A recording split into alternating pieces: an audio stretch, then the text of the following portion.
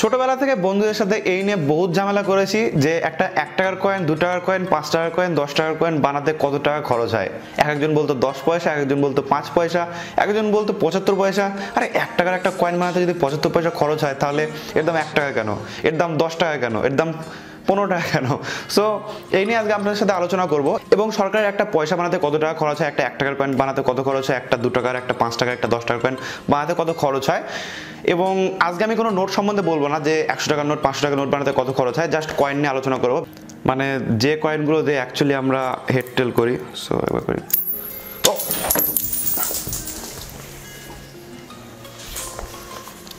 Because আমাদের মধ্যে এখন চালু আছে চারটে কয়েন এক, দুই, পাঁচ, দশ। এই চারটে কয়েন বানাতে কত টাকা খরচ হয় এবং কে এখন কোনটা বানাচ্ছে সেই নিয়ে আজকে আলোচনা করব। সো যদি জানতে চান অবশ্যই ভিডিওটি পুরোটা দেখবেন। চলুন শুরু করি। IGM Indian government mint Mumbai.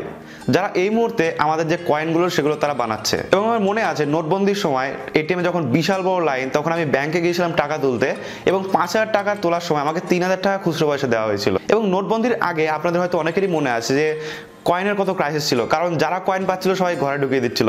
Even এই যে ছোট বাচ্চা কয়েনটা এই বাচ্চা কয়েনটা আমার বাড়িতে প্রচুর। ইভেন এটার কোনো কাজেও লাগে না বিকজ আমাদের কৃষ্ণনগর শহরে এই ছোট কয়েনগুলোর কাজ করে না। সো কলকাতার দিকে এখনও চলে বাট কৃষ্ণনগরে কেন নেয় না আমি জানি না, বা কেন নিতে চায় না। কারণ এখন প্রচুর সার্কুলেশন হয়ে গেছে যে কয়েনগুলোর এবং খুব ভালোভাবে সবার কাছে রয়েছে কয়েন মানে কয়েনের কোনো অভাব নেই।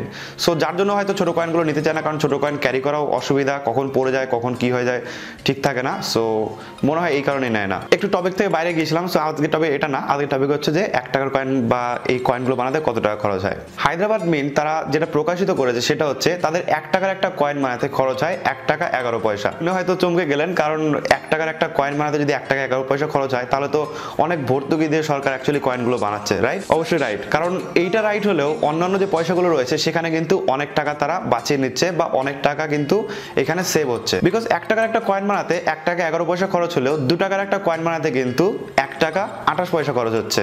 অর্থাৎ অনেক টাকা কিন্তু এখানে সেভ হচ্ছে। ইভেন একটা পাঁচ টাকার কয়েন এবং একটা দশ টাকার কয়েন বানাতে, পাঁচ টাকার কয়েন বানাতে খরচ হচ্ছে তিন টাকা উনসত্তর পয়সা এবং আপনি যদি দশ টাকার কয়েন বানাতে যান, সেক্ষেত্রে দশ টাকার কয়েনের জন্য খরচ হয় পাঁচ টাকা চুয়ান্ন পয়সা। অর্থাৎ এক টাকার কয়েনে যে ঘাটতিটা থাকে, সেটা কিন্তু এই কয়েনগুলো দিয়ে পূরণ হয়ে যায়। সো একটা কিন্তু সামঞ্জস্য বজায় থাকে। তো আপনাদের আশা করি একটা ক্লিয়ার ধারণা হয়ে গেল যে একটা এক টাকার, দু টাকার, পাঁচ টাকার কয়েন বানাতে কত টাকা খরচ হয়।